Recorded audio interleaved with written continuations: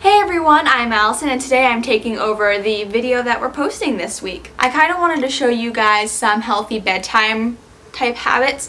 This I guess can be considered a bedtime routine, but I kind of want to give you tips about how you can stay healthy for bedtime and make sure you're in a right mood to go to bed. And I think if you go to bed every night doing healthy habits, then I feel like you'll wake up better and you'll feel better. If you're interested in learning these habits, go ahead and keep on watching. So I don't know about you guys, but when I get home, I am extremely hungry, and I already had had dinner.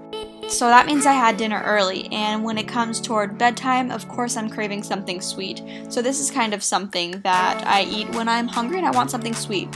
Now what I do is carve these apples into slices, and note to self, I wish I had an apple cutter because it would make coring the apple so easy but I cut it into slices, I core the middle, and then I spread a generous amount of peanut butter on it. The peanut butter makes me feel full, and the apple kind of satisfies that crunch that I really want. And then I put chocolate chips on top to kind of satisfy that sweetness that I've been looking for this whole entire time. I also use this walnut mix if I'm feeling like I need a little extra fiber or something to keep me full and I can sprinkle that on as well and it's a great replacement if you don't want to do those chocolate chips right before bedtime.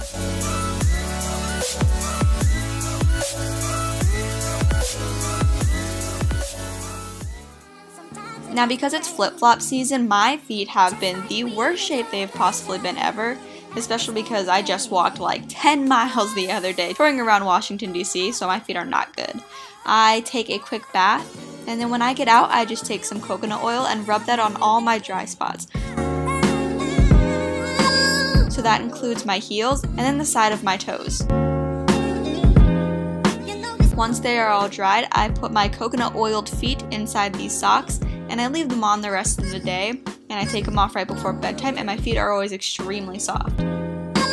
And I swear my son thinks that my socks are a monster. Speaking of my son, I need to put him to bed, so we say goodnight, and then I begin my face washing routine. Now, you can either use a mask or a scrub, but I like to do something several times a week to kind of keep my skin healthy. I'm just taking this face soap and I'm washing my face so I can get all the makeup off from that day. If you'd like to see a detailed skincare routine, definitely let me know.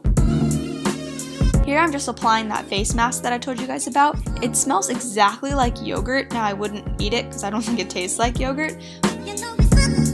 It sinks right into my pores and makes my skin feel really soft after. Then after 10 or 15 minutes, I rinse it all off in cold water. And I put a little lotion on my skin to keep it from drying. This is my favorite. It's really light and it doesn't cause any acne. I feel like lips get ignored a lot, so I'm taking this lip scrub and putting them all over.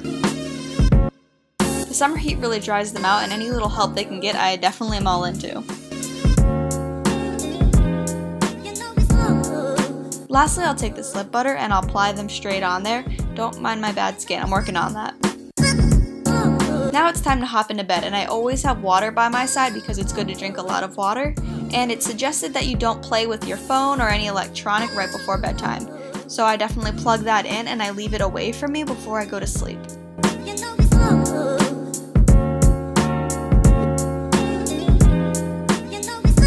And then I hop into bed and I close my eyes and I drift away. Just kidding, it takes like an hour to go to sleep. Anybody else have that problem?